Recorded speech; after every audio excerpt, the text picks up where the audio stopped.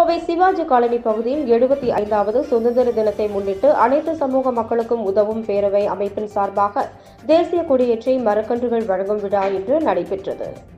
கோவை தடாகம் சாலை சிவாஜி காலனி பகுதியில் அனைத்து சமூக மக்களுக்கும் உதவும் பேரவை அமைப்பின் சார்பாக இன்று தேசிய கொடியேற்று விழா நிகழ்ச்சி நடைபெற்றது. இதனைத் தொடர்ந்து அனைவருக்கும் இனிப்புகள் வழங்கப்பட்டு மரக்கன்றுகள் வழங்கப்பட்டது. இதனை அனைத்து சமூக மக்களுக்கும் உதவும் பேரவை அமைப்பின் நிறுவன தலைவர் வழக்கறிஞர் புஷ்பானந்தம் கொடியேற்றி வைத்து தலைமை தாங்கினார். இந்த நிகழ்ச்சியின் போது சுதந்திர தின மூவர்ண கொடியேற்றி வைக்கப்பட்டு நாம் சுதந்திரத்தை கொண்டாட காரணமாக இருந்த அனைத்து சுதந்திர போராட்ட வீரர்களை நினைவு கூர்ந்தனர். இதனைத் தொடர்ந்து சுமார் ஐம்பது பேருக்கும் மேற்பட்டோர்களுக்கு இனிப்புகள் வழங்கப்பட்டது முப்பதுக்கும் மேற்பட்டவர்களுக்கு மரக்கன்றுகள் வழங்கப்பட்டது.